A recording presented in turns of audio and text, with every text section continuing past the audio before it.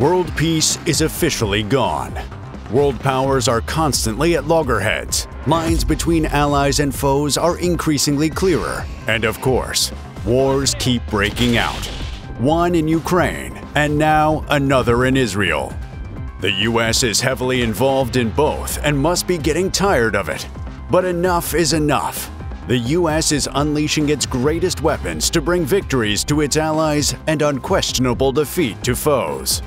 The US is unleashing its $13 billion aircraft carrier into the seas.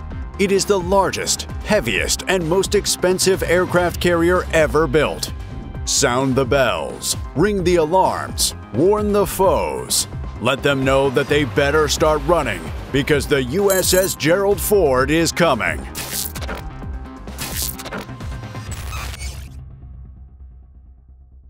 It's all another chapter in war that has lasted decades, but it's no ordinary chapter.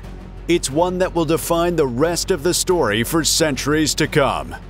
You see, Hamas and Israel have been at loggerheads since before YouTube was created. Launching explosives and issuing out threats was almost normal. But this time, it was worse. It was far worse. It was like nothing Israel could have predicted, even despite their warring history. Hamas went from a rival that Israel went fist to fist with to an enemy that would plan and execute terrorist attacks against the country. These attacks began on October 7th, about a week ago. It started as a normal morning in Israel, but in not long would become one of the darkest days in the country's history. Families having a great time would soon have reasons to mourn. Over 1,200 Israelis would soon lose their lives. Thousands would soon be wounded. Palestinian militant groups led by Hamas launched a deadly large scale campaign against Israel with a militant invasion of the country from the Gaza Strip, followed by at least 3,000 missiles fired at Israel. Not even partygoers at a music festival were spared. At least 260 civilians were killed at that festival alone. It was a massacre. Whether with military ties or not, Israeli men, women, and children were all in danger of death or kidnapping to be used as bargaining chips or just the spoils of war. Israel was furious, and the Israeli government responded decisively, promising a level of retaliation that the invaders would not forget for generations to come. And they kept true to that promise. After clearing Hamas forces from affected areas inside Israel, the country bombarded Gaza with airstrikes. Israel leveled major parts of the country. Major military hotspots where the invasion plans could have taken place were reduced to rubble, and a lot more followed suit. But it was only just the beginning. Israel is a close ally to the US and all of the West. In fact, it is one of the few nations officially regarded as a major non NATO ally. An attack on Israel is an indirect attack on the United States, along with the fact that America's 9 11 history motivates the U.S. to crack down on terrorist attacks with iron fists. In addition to these, at least nine Americans were killed during the Hamas attacks, and more Americans reportedly kidnapped. In more ways than one, the U.S. was now very much involved in this conflict with Iran also involved in the conflict, but on Hamas's side. American President Joe Biden and U.S. Defense Secretary Lloyd Austin announced that help was on the way to Israel. This included an entire armada of ships, including the USS Gerald Ford. Why? Well, Israel is mighty dominant on the ground and in the skies, but on the seas, not so much. The country doesn't even have an aircraft carrier. Aircraft carriers are the largest, most expensive, and most powerful military vehicles on the planet. In one voyage, they can carry an entire community of personnel, an entire fleet of aircraft, and enough firepower to destroy entire cities. Today, a quarter of all aircraft carriers in the world belong to the U.S., their total combined deck space is more than double that of all other nations combined, and the entire fleet is being led by a $13 billion monster so huge it is referred to as a supercarrier, the one on its way to Israel. Before it completes its journey, here's what makes it so monstrous and why it's the ultimate aid the US could provide to Israel during this conflict. Number 4. Nuclear Power two Bechtel A1B nuclear reactors, the most cutting edge engines created for use on water, power the USS Gerald Ford. As a result, the carrier would only need to be refueled once over its entire 50 year operational life, as these engines make use of the everlasting nature of nuclear energy.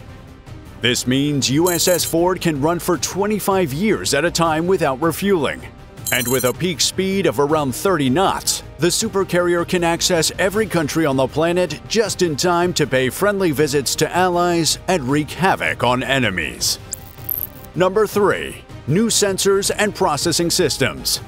USS Ford features the latest sensors, processors, and weapons needed on an aircraft carrier to maintain that balance of intelligence and lethality. Unlike virtually every other aircraft carrier in the world, the USS Ford features a single system for both horizon and volume search in the form of the AN-SPY-3 multifunction radar for X and S-band active electronically scanned array. It remains the most advanced radar system from the US, with enough versatility to handle surveillance, air traffic control, missile communications, and spot targets from miles away.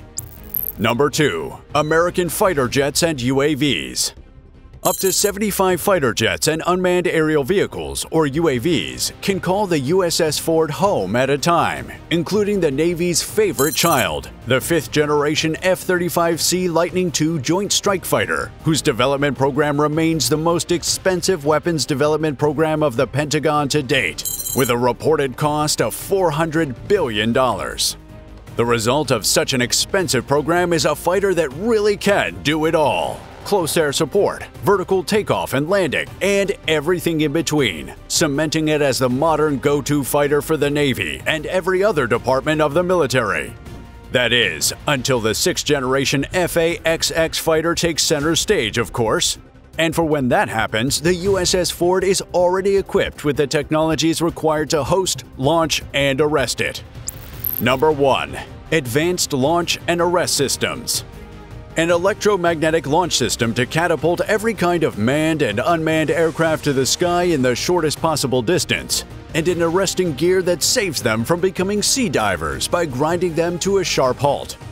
The edge of these systems that offer 4,100 takeoffs and 16,500 arrests before faults over short takeoff ramps and even older steam-powered launch systems are increased sorties, meaning more aircraft could take off from this carrier and land on it in the shortest possible time than any aircraft carrier without these systems. Interestingly, China, which has the second highest number of aircraft carriers behind the US, also has similar launch and arrest systems on its latest carrier, the Type 003 Fujian, which is only 80% the size of the USS Ford.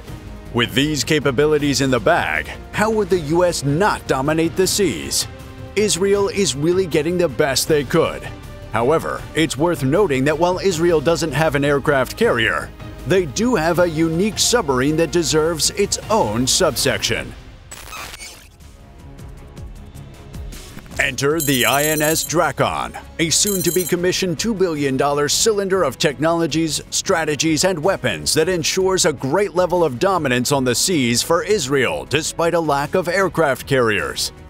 INS Drakon is roughly a 33-foot-long attack submarine with a displacement of 2,400 tons fully submerged the heaviest of the Israeli Navy.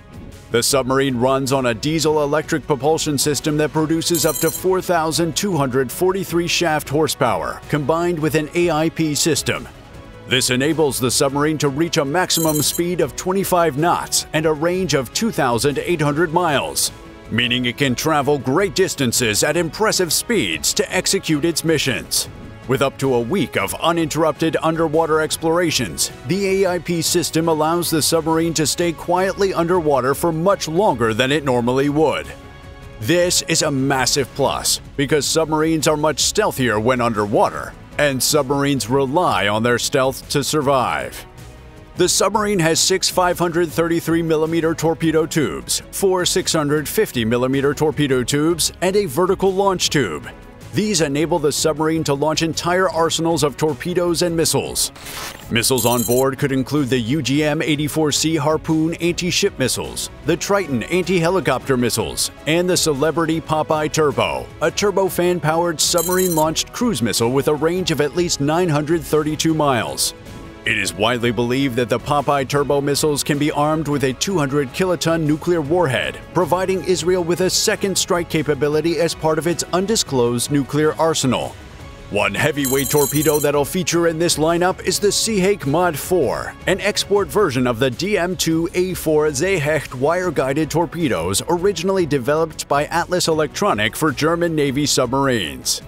Once commissioned, this submarine will be Israel's go-to to respond to imminent national sea-based threats.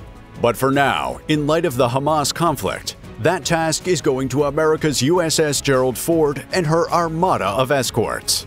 The age-long Israel-Hamas war has taken a very dark turn, escalating into something from a nightmare. Israel has responded accordingly, securing its land and skies, and then having the most powerful aircraft carrier in the world, the USS Gerald Ford, securing the seas. With all three domains covered, Israel now only needs you to subscribe to this channel and give this video a like. So do that now, and thanks for watching.